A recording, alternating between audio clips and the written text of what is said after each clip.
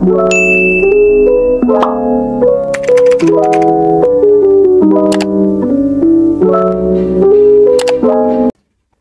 hi guys! Welcome back to my YouTube channel. Ayan, for today's video, meron akong i-release na 2024 Montero Black Series. Yung, yung client ko is kausap ko pa parang last January or February. So, ngayon, i-release na namin yung unit nila. And, uh, supposedly, ang i-avail nila sa atin is Montero GLS Automatic. But, it so happened na medyo nagmamadali na rin sila, sir.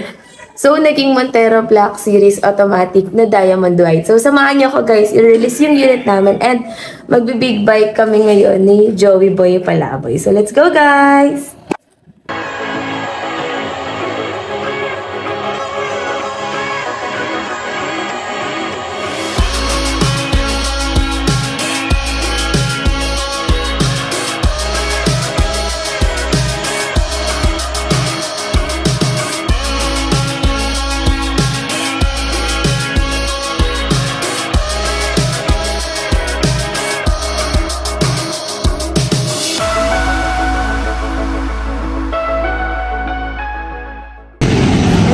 Dito na tayo sa dealer.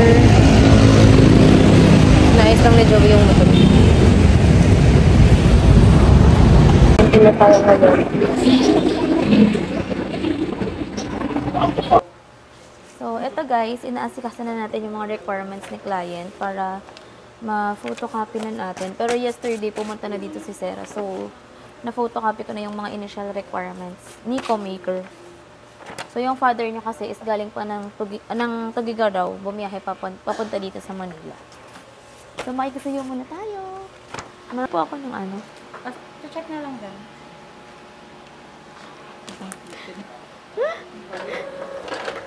Yan na guys. Sana maaga tayo matapos kasi meron pa akong mall duty after na tong release.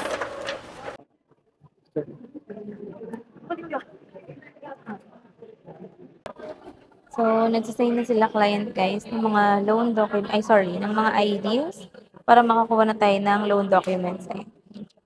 So, hi guys. Ayan, bali, habang inaasikaso ko na muna yung mga loan documents ni client, si Joey, eh, sumakit din sa stockyard namin para mag-demo na rin muna kasi may duty pa kami after this release. So, yung duty namin sa mall is hanggang 10pm pa.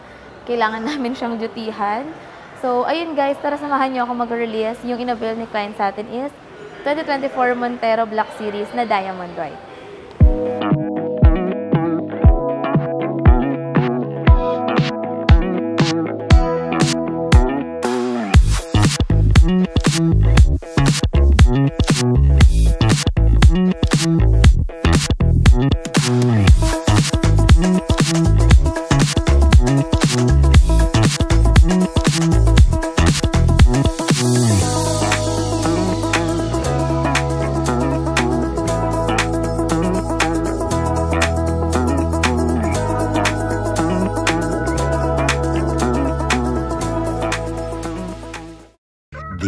Next day. So, hi guys! This is Christine, your sales consultant here in Peak Motors sa Abad Santos. So, for today's video guys, meron tayong i-release na 2024 Expander GLX Automatic. And yung client natin ngayon ay isa sa ating mga subscriber.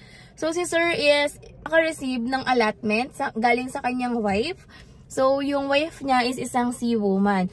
So, for today's video guys, I'll be sharing with you kung ano-ano yung mga previous na nakuha sa atin ni Sir Oliver and kung magkano ba yung down payment na na-avail niya dito sa amin. So, let's go guys! Guys, sh shout out nga po pala sa nirelease natin yesterday.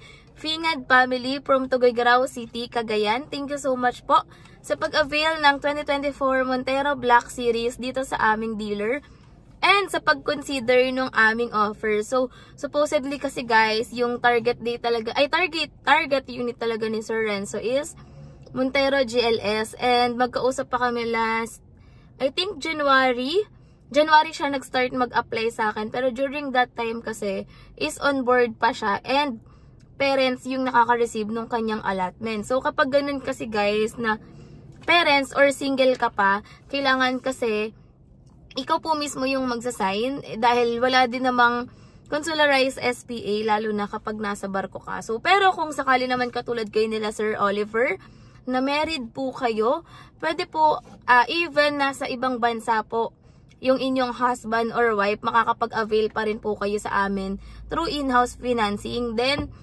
naka-single signatory po tayo. Meaning, kayo lang po yung pipirma on behalf of your partner. So, tara guys, samahan nyo na ako dahil inayos ko na rin naman yung mga docs ni Sir, uh, ni Sir Oliver para pagdating niya dito sa dealer, magsasign na lang siya and mag-photocopy na lang tayo ng mga requirements. So, let's go!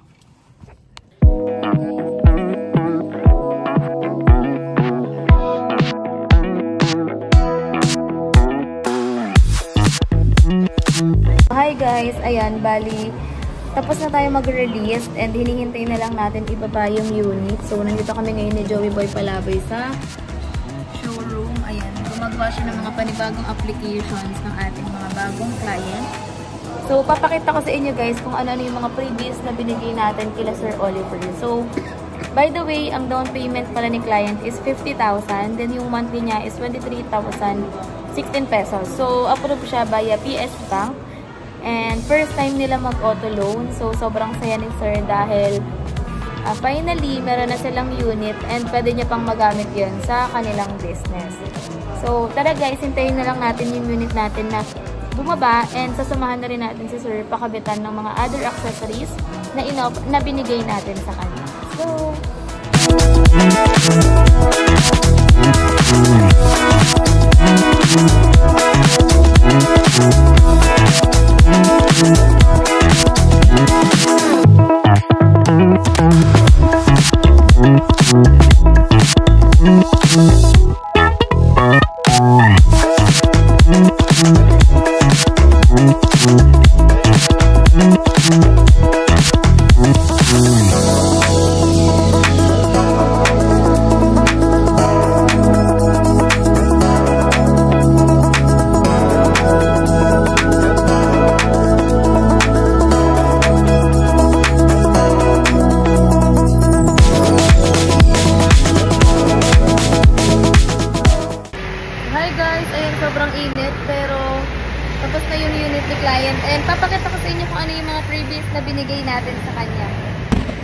So as you so as you can see guys, meron tayong expander na hood emblem. Tapos meron din tayong Bosch Europa horn naka-install na 'yan. Sorry, medyo madumi, madumi na yung unit dahil nagbiyahe na kami nila, sir. Then on the other side, meron tayong door garnish. Sa loob, tignan naman natin. Uy, makikita nyo kagad yung ating leather seat cover. Sa baba naman, meron tayong expander na side step seals and 5D extended na deep dish matting. So, lahat yan guys, makukuha nyo kapag nag-avail kayo sa akin or sa amin ni Joey through in-house finance. Siyempre, di mawawala yung ating rain visor. Also guys, meron din tayong dashcam sa loob, naka-install na din. Tignan naman natin kung anong meron sa loob ng unit ni sir.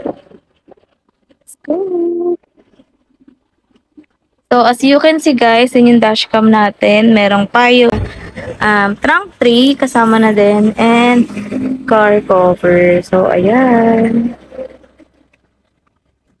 Meron na din siya guys na backup sensor and muffler.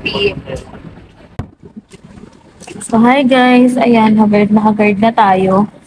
So, ngayon pa lang kami kakain ni Joey and it's almost 6 p.m. na. Hindi pa kami nakapag-lunch. Then, kain guys. Ayun oh. Hi. So, ayun, shout out nga po pala sa client natin for today, si Sir Oliver Alcantara and sa kanyang misis. So, thank you so much po sa pag-avail sa amin dito sa Mitsubishi Jose Abad Santos. So, ayun lang guys. If meron kayo mga questions or for quotations, feel free to message us sa aming mga contact numbers indicated dito sa screen And pwede nyo rin kami i-visit dito sa amin sa Mitsubishi Jose Abad Santos. So medyo pagod na tayo guys. Thank you so much for watching. See you on my next video. Bye!